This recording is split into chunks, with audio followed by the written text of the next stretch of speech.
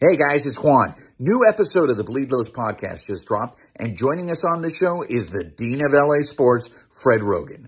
We discuss his career at NBC, the Dodgers youth movement, Fernandomania, and of course, tacos. So make sure you subscribe to the podcast and to our YouTube channel because you never know who's going to stop by the carne asada.